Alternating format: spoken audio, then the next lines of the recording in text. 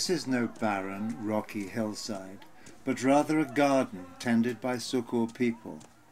Their way of life is an outstanding example of an old African pattern of adaptation to mountain environments, one that involves labor-intensive terracing of slopes and micromanagement of livestock and plants. Over time, this produces a cultural landscape.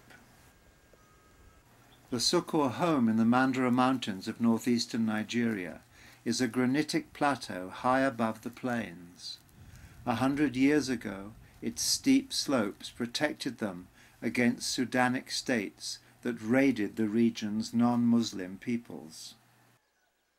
Access is by foot up ancient and finely engineered paved ways that the Sukur say were built by giants. Of 15,000 Sukur, 2,000 remain on the mountain. At the top of this paved way is the rock-built house of the chief, a place of shrines and paved passages entered through megalithic gateways.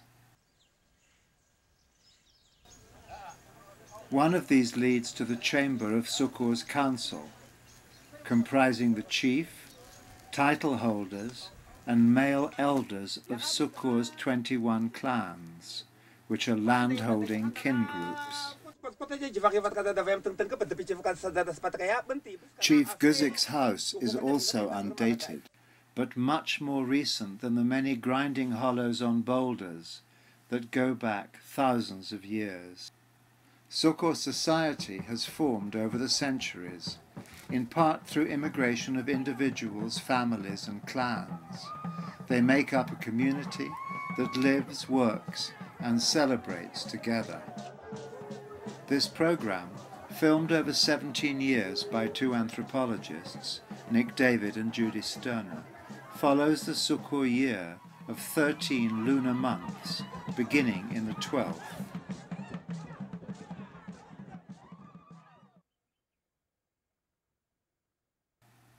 It is the last of winter. The air still holds harmattan dust blown south from the Sahara Desert.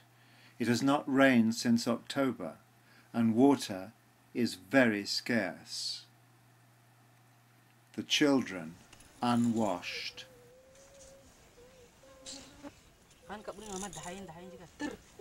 A few gourd containers remain to be finished, but most Sukur are turning their minds to the next farming season. Smiths and their wives the potters form a caste, marrying amongst themselves. Their crafts are now much in demand.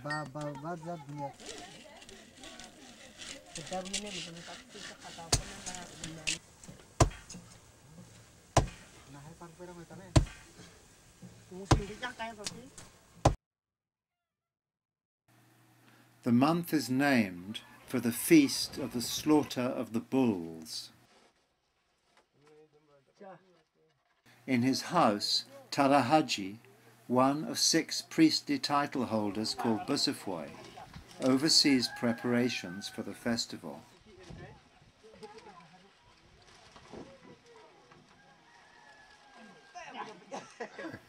The bull has been fed for two years in a sunken stall.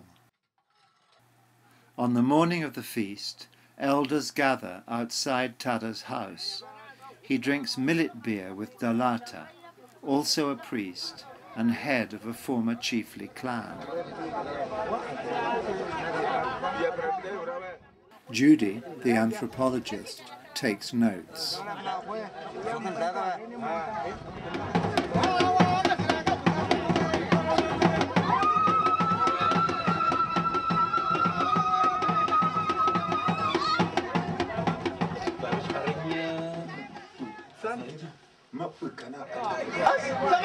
samakuiziya kuti samaziya kuti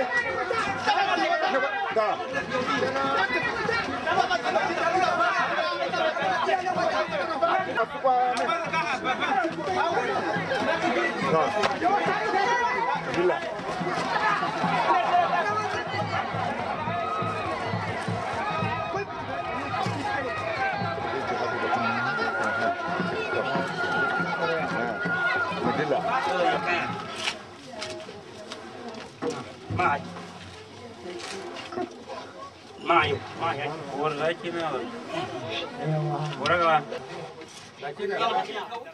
After the sacrifice, Tara takes out a blood offering for God, Jigla, and the spirits. The next morning, as a room in the chief's house is thatched, the bull is butchered. Formerly dozens were slaughtered, and their meat shared through the community. Sukur is now less self-sufficient. Economic priorities have changed. In 2008, Tarahaji was the only celebrant.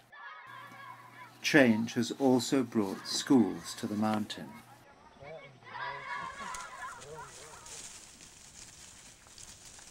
The thirteenth month is the hottest. Sheep and goats will soon be confined to stalls. Agricultural terraces are repaired, fields cleared and burned off, then fertilized with manure. The land, hot and dusty, may be refreshed by a shower or a flower, but it is too early to plant. Women walk far to collect a year's supply of firewood. Children climb hackberry trees to gather leaves, almost the only fresh greens available. There is now time for house construction, and a room is to be rebuilt in the house of the chief.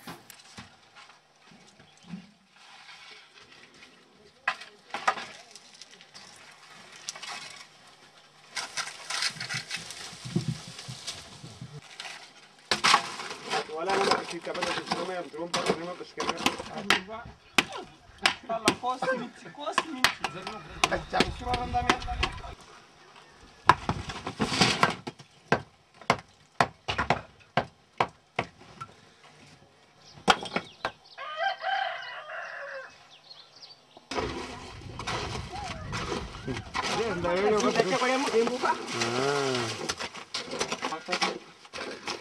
Once rooms are ready, marriages take place, always within the caste, but outside one's own clan, and the bride can be led to the house of her husband's family. Very hot and increasingly humid, Tia Zung means moon one, usually corresponding with April. But here the calendar is tied to rainfall, not the sun. Months can be repeated or dropped. Only irrigated gardens are green, but nutritious dry grass on the plateau is not wasted. Cattle, some owned by Sukur, are pastured by visiting Fulani herders. Mahogany fruit are harvested and their seeds crushed and cooked to release oil, used, often mixed with red ochre, as a body ointment. Until the 1950s, this was the time when everyone in Sukur, smiths and farmers alike, smelted iron in furnaces unique to this region. A smelt reenacted in neighbouring Cameroon shows how it was done.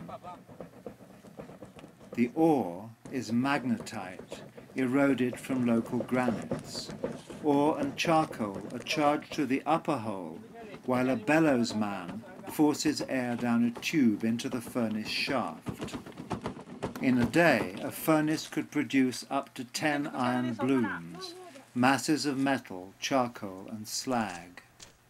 Sukur's furnaces have decayed, since local iron was replaced by European stock and scrap in the late 1950s, so fast that some were left with numerous blooms and iron bars that were traded and used as money.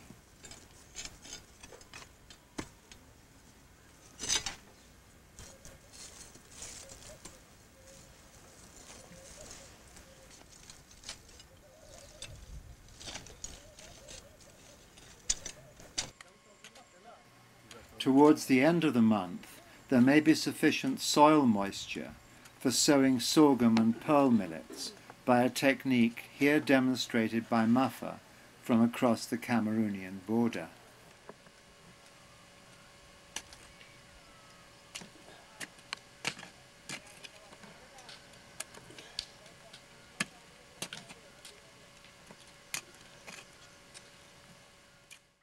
In the second month, rain falls, unpredictably and irregularly, and a green flush clothes the terraces. Now is the time for a new wife's dowry and her family's gifts to be brought to her new home.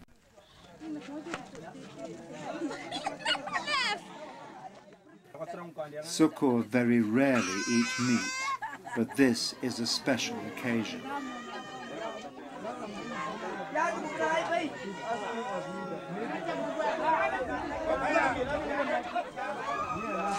For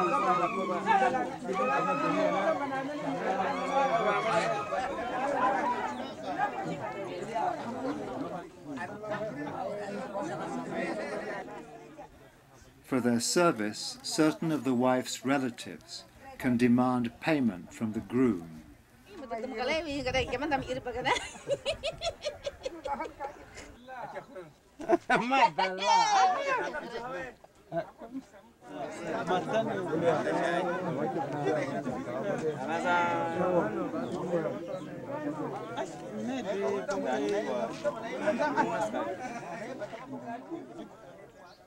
Sorghum sprouts quickly in Chief Guzik's fields, but so do weeds.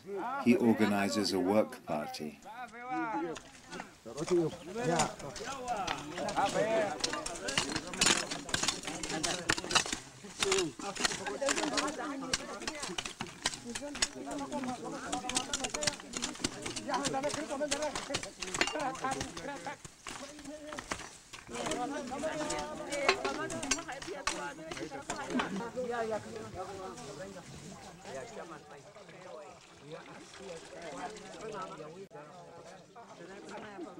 Millet beer, both drink and food, is prepared and served to the workers.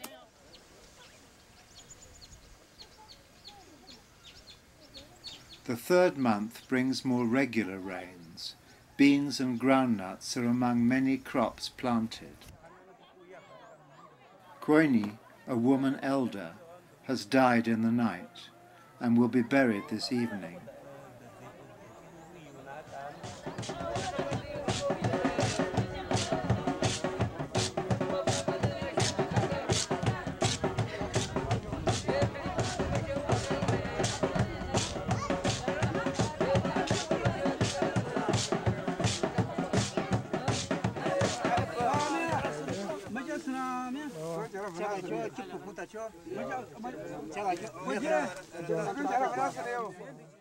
Her husband's kin dig the tomb.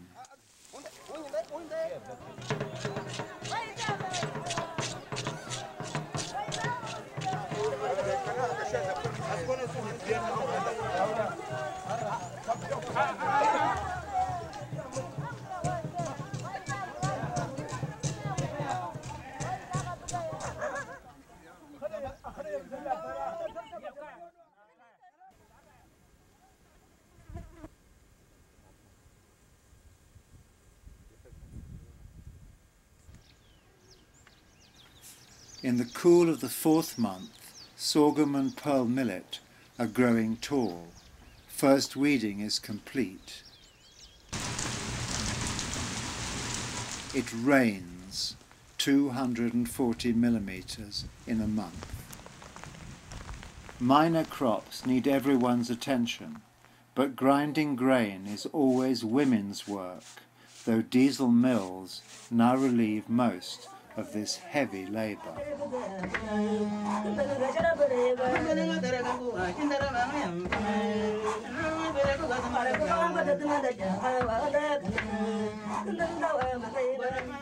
The flour will be cooked in boiling water to make the staple food, a stiff porridge. Every two years, the coolest and wettest month of the year sees the initiation of young men. Almost everyone is busy with the second weeding of the millet fields and the planting of sweet potatoes and minor crops. Mama, tarda yubiga, tarda yubiga, tarda yubiga, tarda yubiga, barka wanda Meanwhile, the initiates are off in the bush or competing in tests of strength.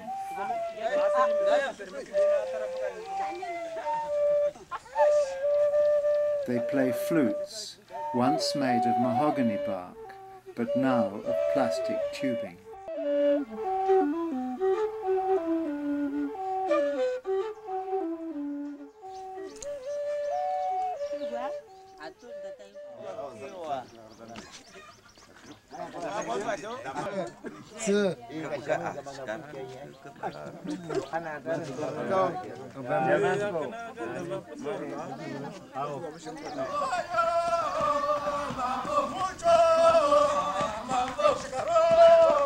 On the first day of initiation, candidates and their mentors gather in the council enclosure.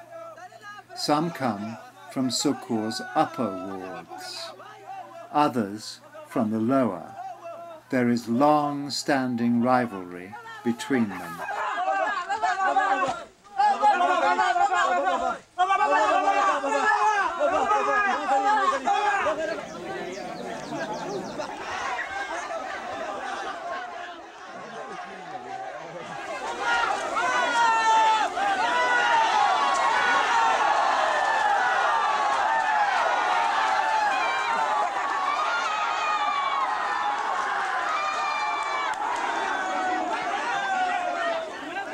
Elders and mentors separate the two groups, and the initiates are seated inside Chief Guzik's house.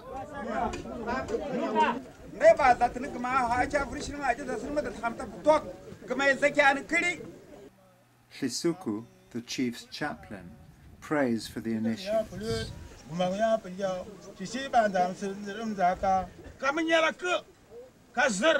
Instructing them kazir, go seek a wife. He blesses them with beer. A Busafoy priest leads the initiates to their special hill. Yeah.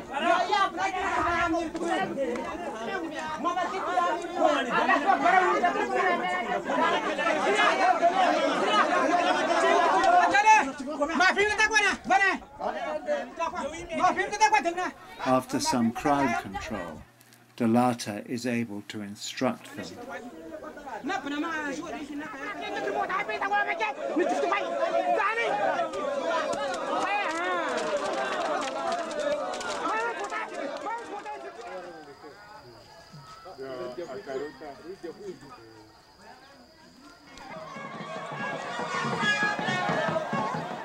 Evening, there is a dance on Patla, the ceremonial area next to the chief's house.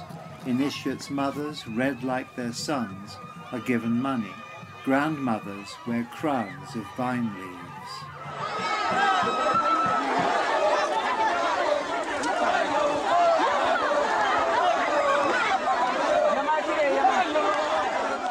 Initiation continues for three, five, or seven days.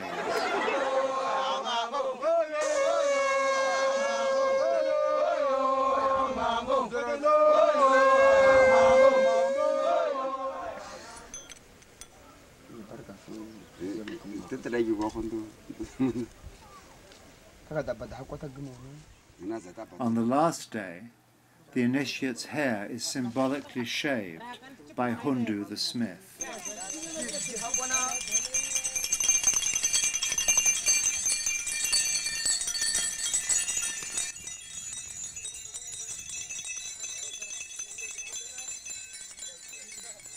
Everyone is getting ready for the final dance.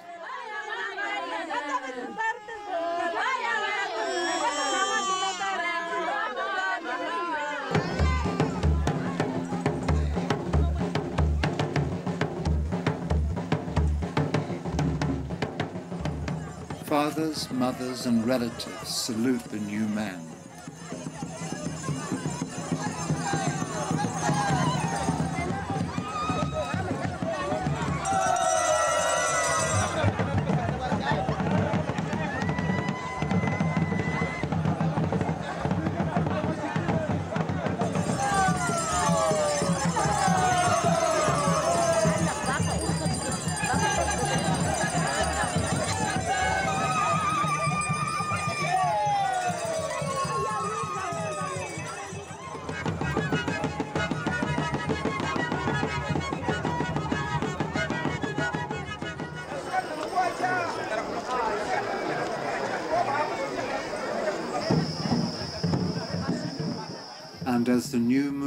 Shows her face, the ceremony ends.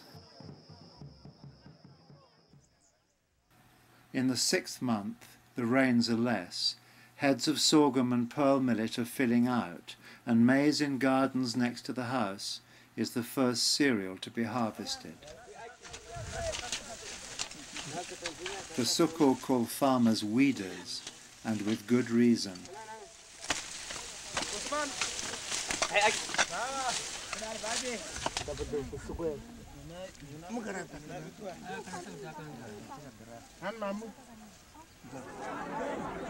A small Sunday market supplements the main Tuesday market below the mountain.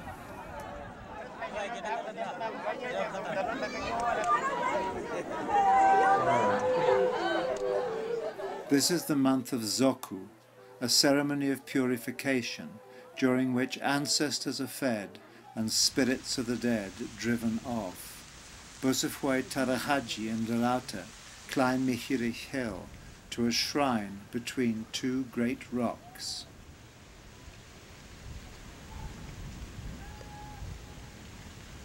Tarahaji prays to God. This offering is for Jigla. Bring health to the people. May they become as numerous as grains of ore. Take your food. This is my task, handed down by my father. Let the things that enter our houses through drains be not as snakes, but as earthworms before our children's feet. Spirit of this high rocky place, drive away evil. So be it.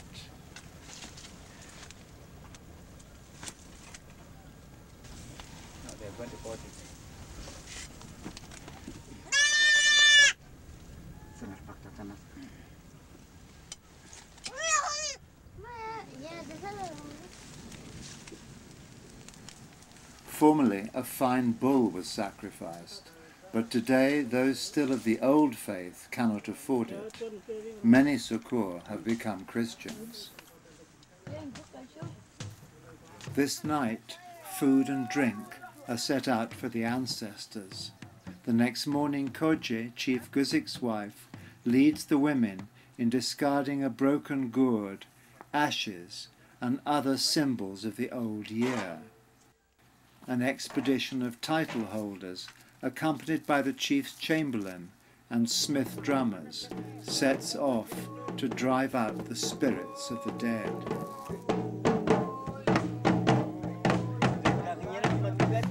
They are led by Midala, the ritual war leader.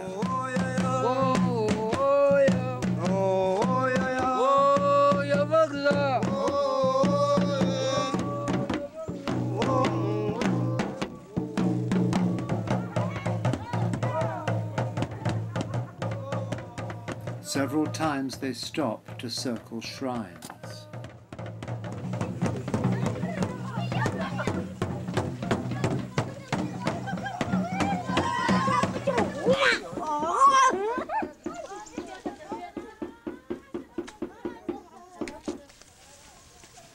They tell the dead to go to Dua, a Kapsiki village over in Cameroon.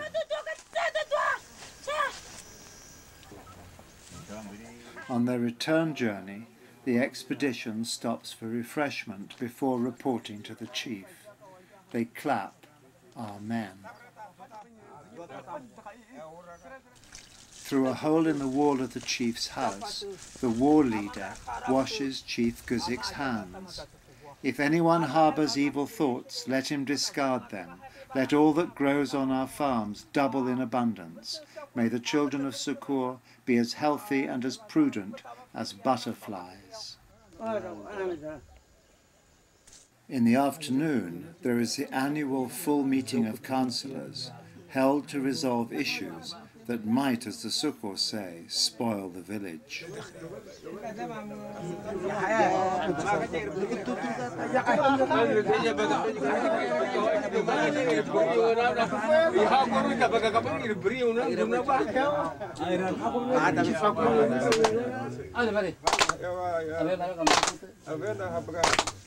Among the bull that was slaughtered Shared understandings develop from shared experience.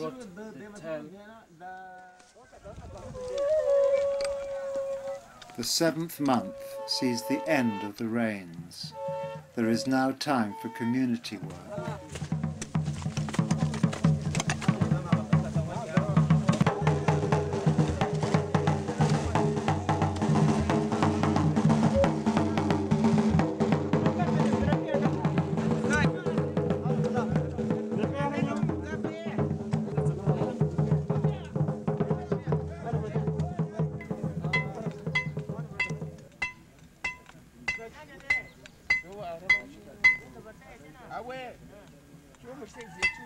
Hundu is in his forge, making tools for the harvest.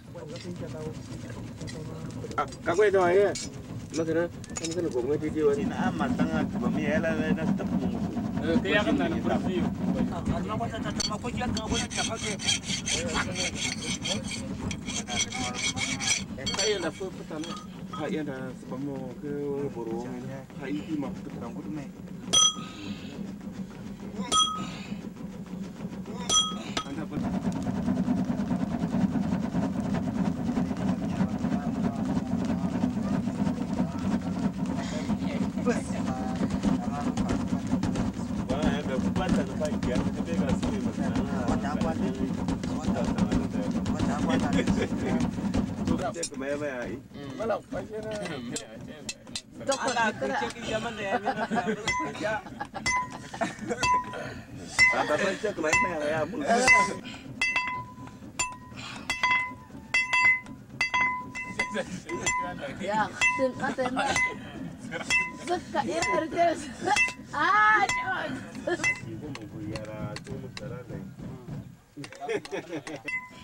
Sukur smiths make the full range of iron tools.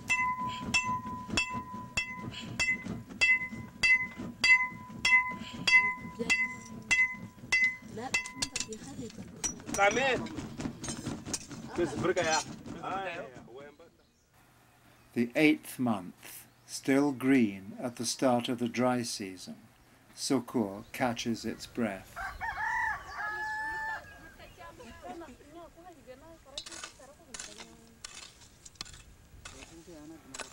Where women once gathered iron ore, they now farm groundnuts as a cash crop and bring their chickens to forage in the fields.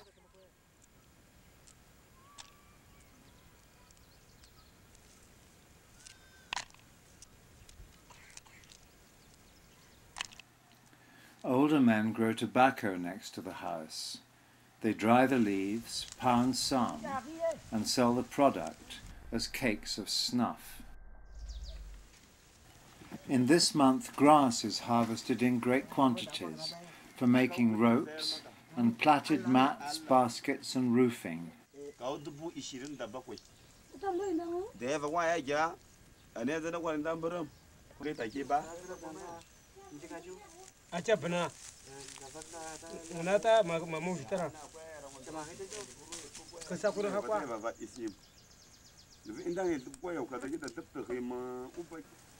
Kawo dubu ishirin da bakwai. Da ya fa ya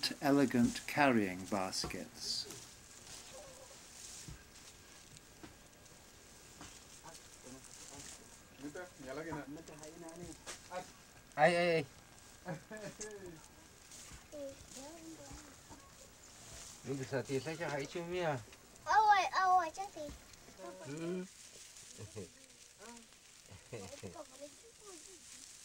acha vapore itazidi kwa vapore naenda tupamana kutoka kana hai. Naenda tupamana hii ni ya ziranda aka akiwa ya jamaa kwa mimi kijini magandara uru ah makwada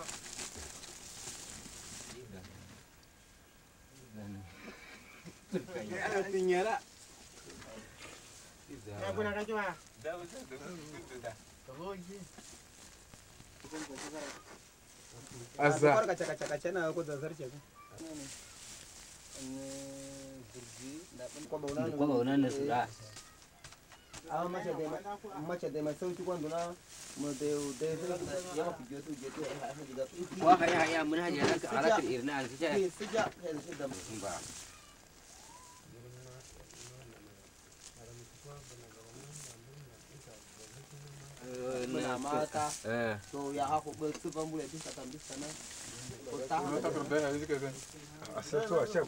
da makwata ta tabbata da ma ta karta har aka mutu aka mutu kasa ta wani da sat ka ha rage ka fa so so mai tuba ya ta kota ma eh That's it, except for the frame. Sukur mats have replaced Sukur iron as a source of income and are sold widely in and beyond the region. The end of the month sees a ceremony, the coming to Patla, which sets the stage for harvest.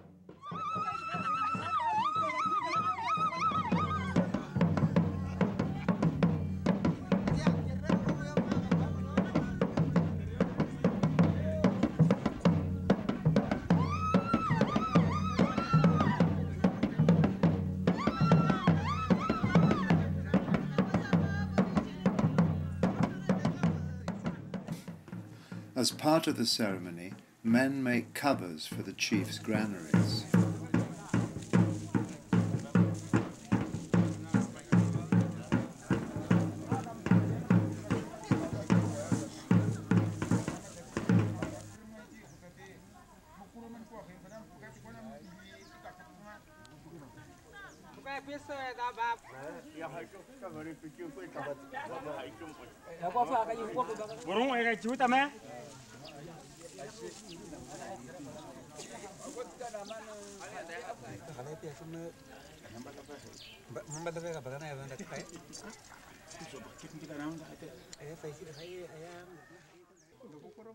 The war priest supervises the refurbishing of an altar made of old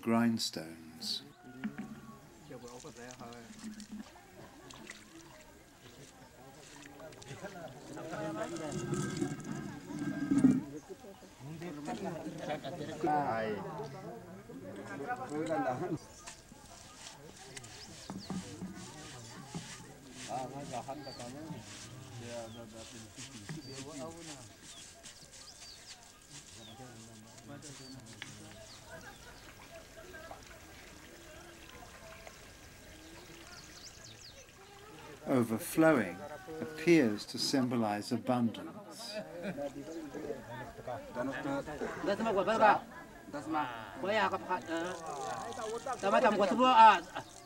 The coming to Patla ends with the circling of a shrine and the first of several goat sacrifices, one on each of the ways into the settlement.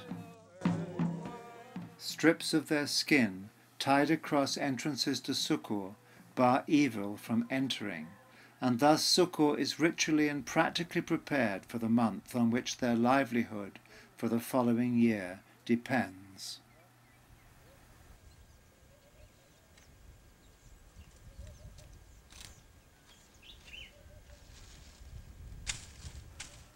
Sukur's ninth month is dry and cool, time to harvest, and be harvested as the district head visits to update the tax rolls.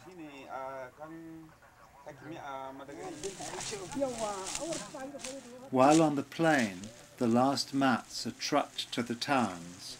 The main harvest begins on the mountain.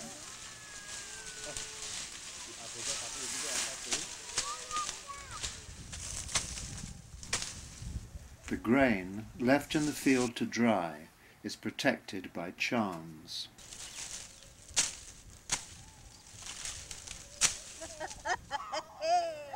Sweet potatoes will be stored in pits.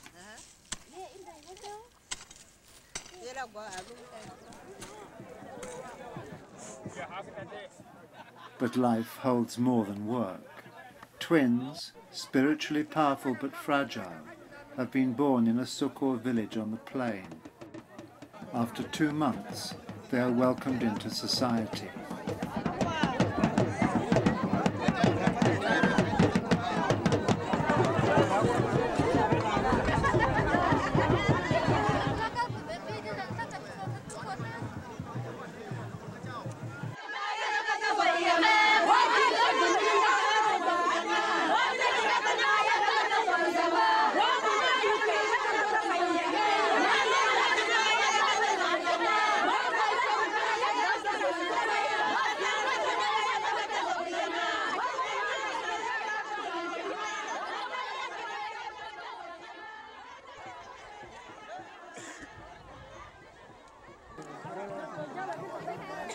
Husband's kin dance on the courtyard roof, the twins' mother climbs to her rooftop granary.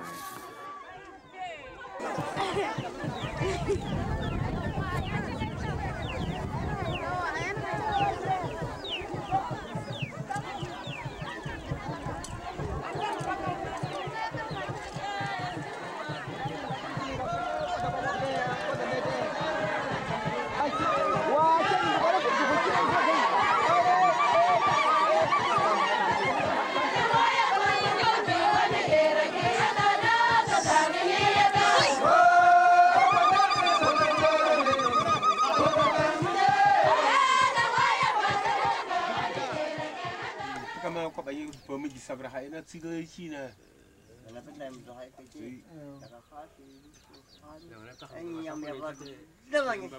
Up on the mountain, baskets are being given their final touches.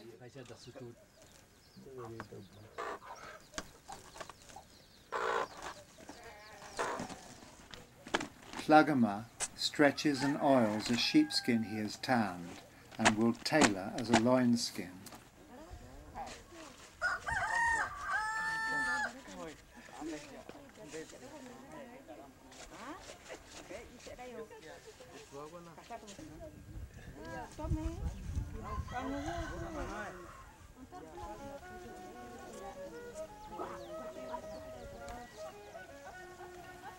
Smith musicians of the Higi people are arriving for the funeral of the old lady whom we saw buried during the rains.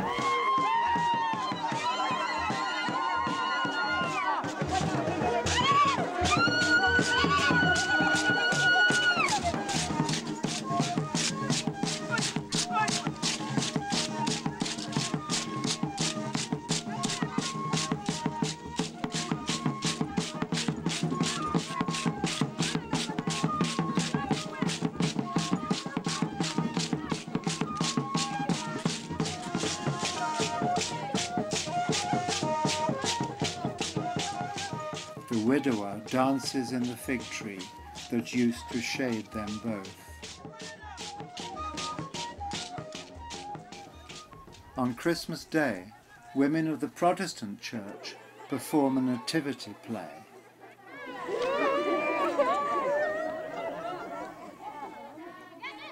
Afterwards, they sing hymns in the Hausa language.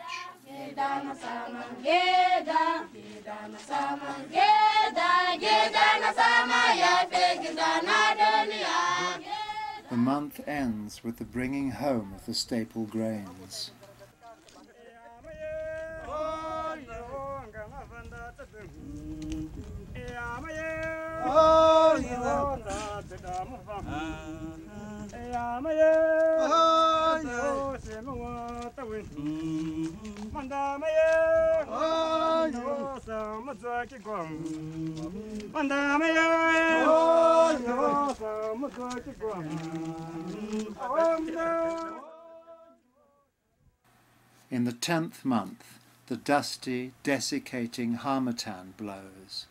The bush burns, and black kites feast on rodents and insects.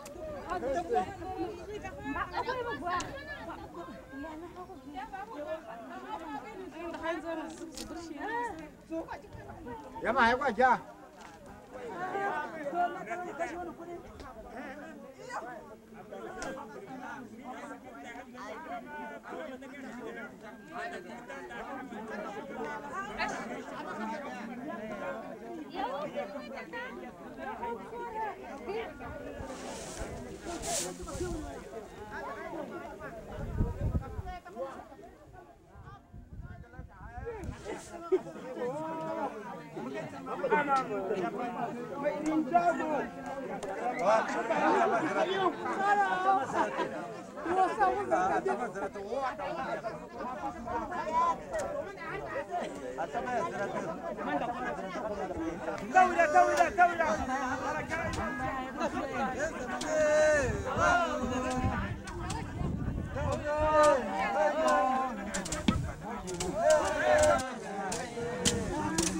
Oh, yeah.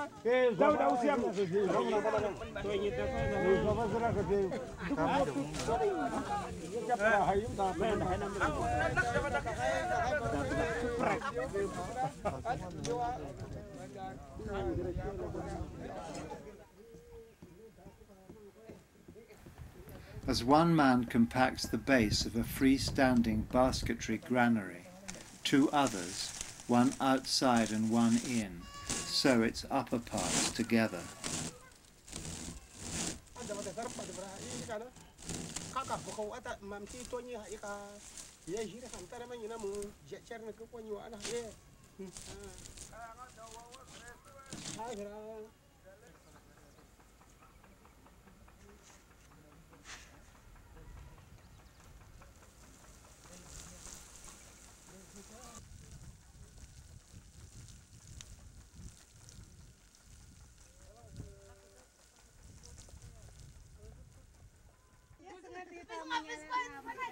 The eleventh month, women wait long at the wells.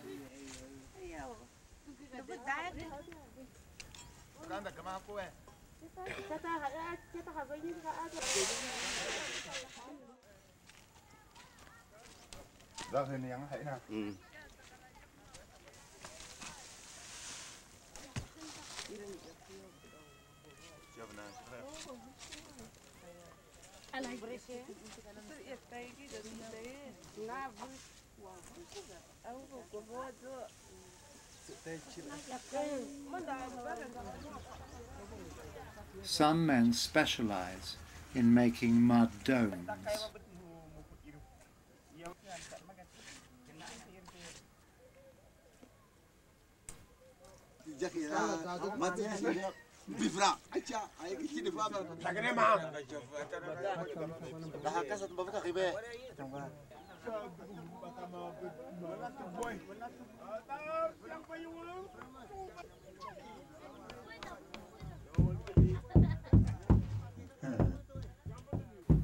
Once dried, the dome supports the weight of a man and protects against fire. The harvest has been good, and Chief Guzik decrees that Yawal be held, a ceremony that celebrates him and his chiefly clan, but also reconciliation with two earlier dynasties. Their representatives, Hluduv and Dalate, serve this shrine.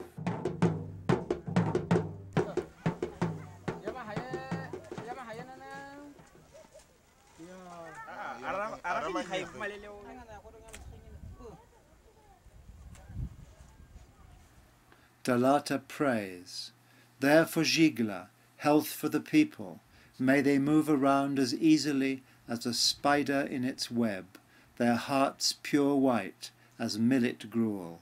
Let them finish the feast in beauty.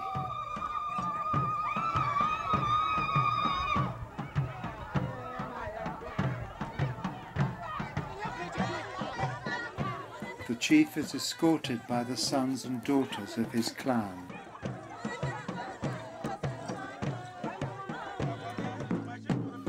Hlisuku offers a prayer.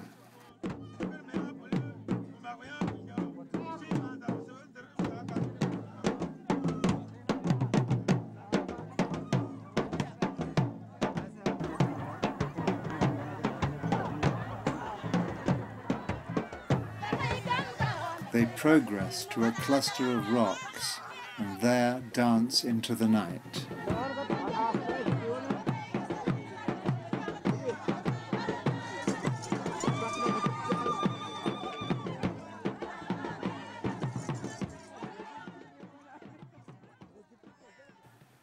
The last and greatest day of Yawal is the fourth.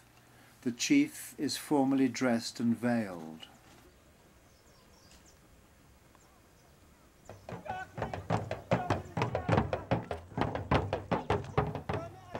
Then a procession leads from his house down the paved way, stopping at a shrine for prayer.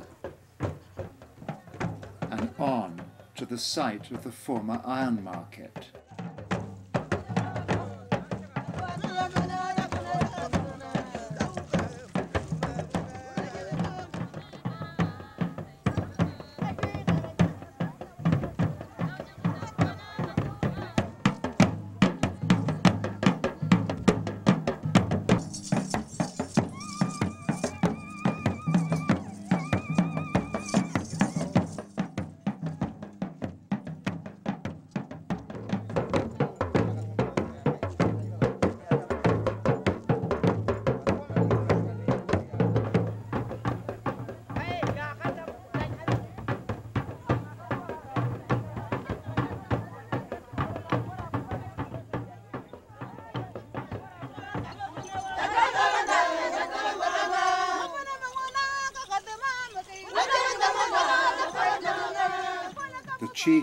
Protected by warriors and by the priests of earth and water. Since Sukur was named a World Heritage Cultural Landscape, Yawal has become its public face.